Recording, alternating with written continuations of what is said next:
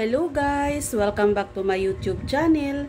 For today's video ay magluluto ako guys ng simple lang ito guys na ulam pero napakasarap masustansya.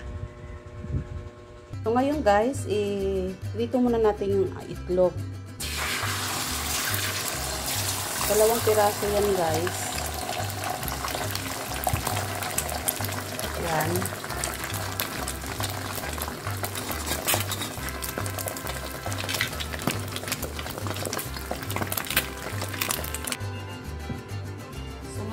Guys, eh, magigisa tayo ng sibuyas.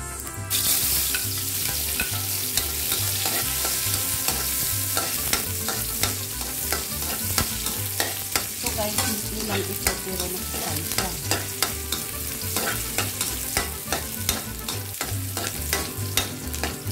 Tapos ilagay natin yung ating bawang.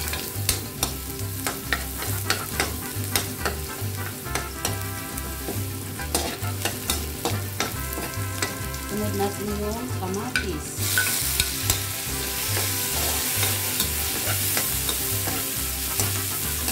Saka madali lang ito lutuin guys.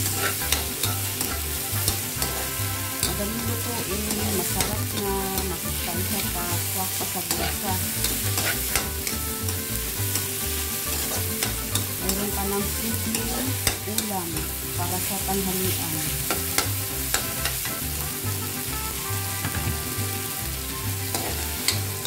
Tapos,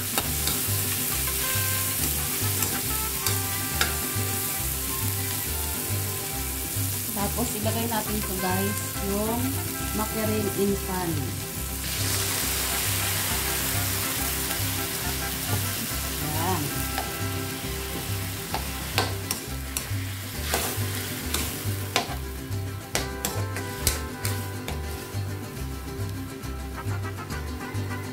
Ngayon guys, maglagay tayo ng paminta.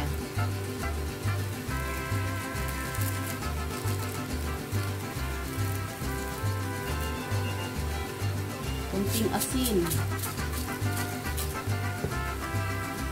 Magic sarap.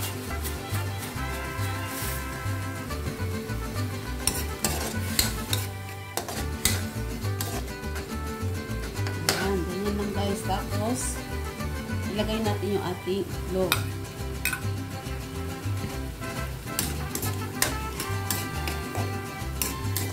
Diba, mayroon na tayong simpleng ulam para sa tanghalian. So, ngayon guys, lagyan natin ng tubig para sa ating sabaw.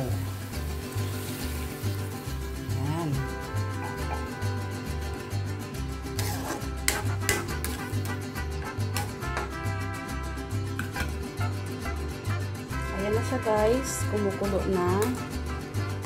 So, ilagay naman natin yung isa nating ingredients. Ayan loaders ng Lucky Me.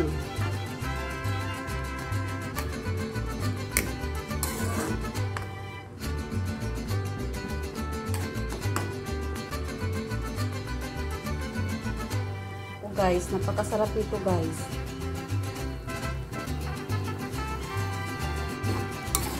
Ayan na siya guys, oh. So, diba? Ang sarap.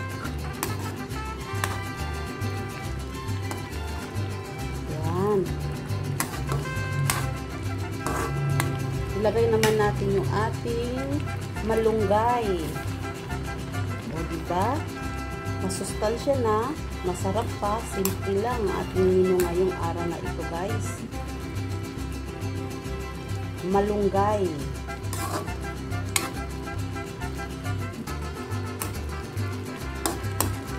Okay na yan, guys. Luto na yung ating recipe for today. Malunggay.